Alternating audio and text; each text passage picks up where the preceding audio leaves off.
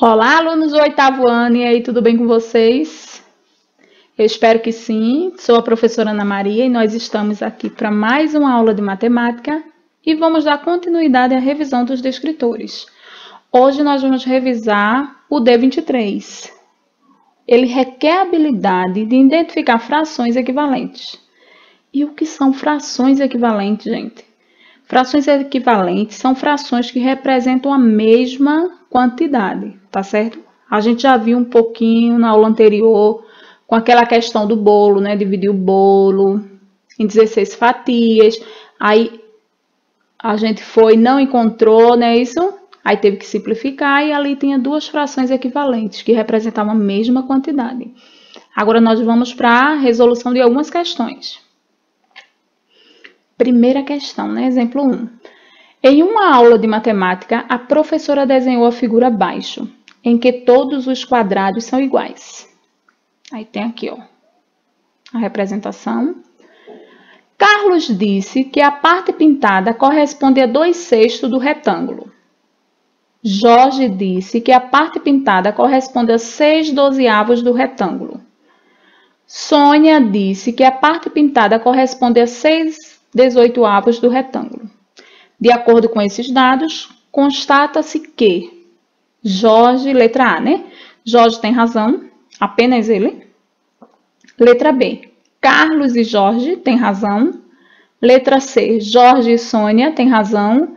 Letra D, Carlos e Sônia têm razão. A gente vai agora representar aqui. Então, veja só, quantos quadradinhos aqui tem esse retângulo, né? Vamos contar. Um, dois, três. Contei aqui, ó. 1, 2, 3, 4, 5, 6. 3 vezes 6, 18. 18 quadradinhos. Então, 18 ali ó, vai ficar, 18 é o todo, vai ficar no meu denominador. Ó, 18.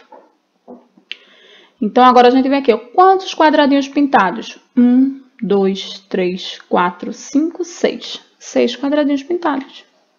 6, 18 avos. Aí você já vem aqui para a questão. Você observa aqui, ó, tá idêntico ao que Sônia falou, 6 18 avos. Aí a gente já sabe que Sônia está certa. Então aqui, ó. Aí você vem para as opções, eu encontro Sônia aqui e Sônia aqui. Então uma dessas duas está certa. Se essa daqui não tem Sônia e a gente sabe que Sônia está certa, então eu já elimino letra A e já elimino a letra B. Se eu eliminei a letra A, que apenas Jorge tem razão, pela lógica, né, gente? Aí você viu a fração aqui, aí você diz, poxa, eu esqueci como é que simplifica, e agora? Só por você representar, já dava para você responder essa questão. Porque aqui, ó, se diz que sonha, e a única opção que tem é Sônia aqui nessas duas. E aqui na letra A, você já disse que Jorge não tem razão. Então, Jorge já está fora, né, gente? Então, aqui ó, a letra C já estaria fora. Então, aqui a letra D. Agora, a gente vai confirmar isso aí nos cálculos, né? Vamos agora? Ó, 6 18 avos. Encontrei aqui, ó, Sônia. Aí, agora a gente aqui não encontrou as outras, a gente vai o quê? Simplificar. Aqui dá para simplificar por quanto? Ó, por 3, não é isso? 6 dividido por 3 aqui, ó, 2. 18 dividido por 3, 6. 2 sextos. Aí, então, encontrou ali, ó. Carlos também, né? Isso aqui, ó. 2 sextos, igual a de Carlos. Aí, professora, e se aqui eu tivesse simplificado por 2? A senhora por 3, né? Aí deu 2 sextos. E se eu tivesse aqui, em vez de 3, começado por 2? Aí eu coloquei aqui embaixo. Daria no mesmo, viu, gente? Ó, 18 é o todo, 6 18 avos. A gente vai simplificar por 2. Deixa eu ver se sai um 2 aqui, ó. Por 2. Então, aí, ó, 6 dividido por 2, 3. 18 por 2, 9 três nonos. Aí aqui não dá por dois, né? Que são ímpares. Então, a gente vem por 3. 3 dividido por 3 dá 1. 9 dividido por 3, 3. 1 terço. Professora, não está igual. Ó, aqui deu um terço e Carlos tem dois sextos. Só, gente, que aqui, se a gente quiser, a gente pode simplificar ainda? Pode. A gente pode, ó, simplificar por 2. 2 dividido por 2 vai dar 1. 6 dividido por 2, 3. 1 terço também. Então, ó, se você verificar, todas essas frações são equivalentes. Ó. 6 18 2 sextos, 1 terço, 3 nonos. Todas essas aqui são equivalentes, tá certo? Vamos para a próxima. Exemplo 2. Bruno, Regina, Carlos e Mariana participaram de uma Olimpíada de Matemática. Do total das questões propostas, Regina acertou 2 quintos. Ó, 2 quintos, Regina acertou, tá aqui. Bruno acertou 1 um meio. Carlos acertou 3 oitavos. 3 oitavos Carlos. E Mariana acertou 2 quartos. Houve um empate entre dois deles. Identifique os dois participantes que acertaram o mesmo número de questões. Aí você vem aqui, ó. Nenhuma das questões, questões são idênticas. Então, você vai ter que fazer o quê? Simplificar. Ó, 2 quintos, ela já é uma fração irredutível. Não dá mais para simplificar, não dá para reduzir. Ó, irredutível. 1 um meio também é irredutível. E 3 oitavos também é irredutível. Por que irredutível? Eu não tenho um número que divida, um número inteiro que divida 2 e 5 ao mesmo tempo. Então, aqui, ó, apenas que dá para simplificar é 2 quartos. E a gente vai simplificar por 2 e 4, dá para dividir por 2. Por 2 aqui, ó. 2 dividido por 2, 1. E 4 dividido por 2, 2. 1 meio. Então, se você observar aí, ó, as duas frações equivalentes são 2 quartos, não é isso? E 1 um meio. Então, aqui, ó, 2 quartos, Mariana acertou 2 quartos e Bruno acertou 1 um meio. Então, Bruno e Mariana, aqui, ó, Bruno e Mariana. Letra D. Vamos para a próxima. Qual das frações abaixo é equivalente a 4 nonos.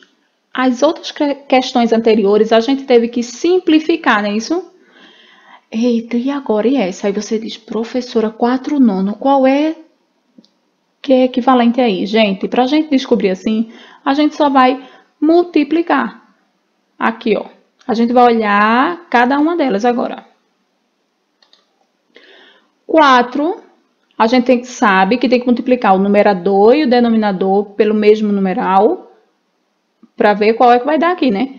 Qual é o número que multiplicado por 4 vai dar 14? Aí tabuada de 4. 4 vezes 3, 12. 4 vezes 4, 16. Então, não dá, ó. Essa daqui não. Porque aqui já tem 14, está no meio. Agora aqui, ó. Qual é o número que multiplicado por 4 dá 28? Tabuada de 4, 4 vezes 7, 28, não é isso? Então, aqui, ó, por 7.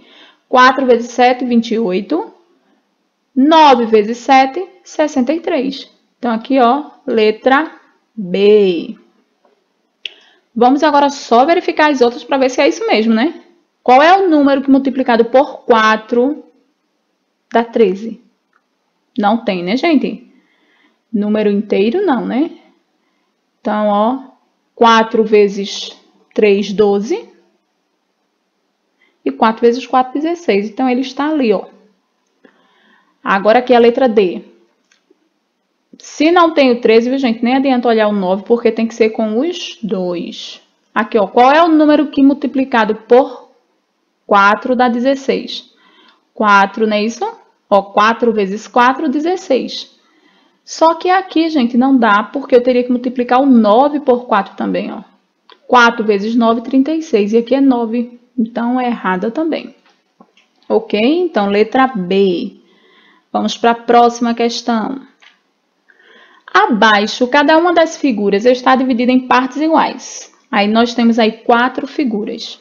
Em quais dessas figuras a parte colorida representa a mesma parte do inteiro? Então a gente vai olhar aqui, né? Vamos lá, primeira figura aqui, ó. Primeira figura, a gente vai contar quantos retângulos eu tenho aqui, ó. Um, dois, três, quatro. Então, meu todo é quatro. Quantos retângulos pintados? Um, dois. Então, dois no numerador, dois quartos.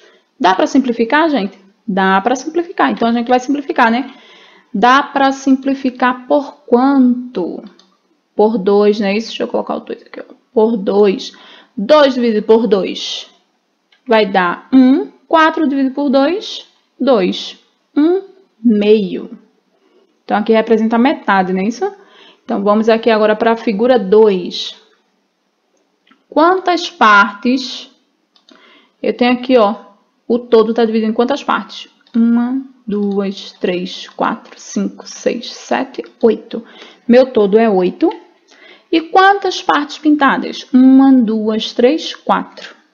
4 aqui, ó, no numerador. Então, eu venho aqui agora, dá para simplificar? Dá para simplificar. Eu posso ir simplificando passo a passo, por 2, depois... Posso, sim.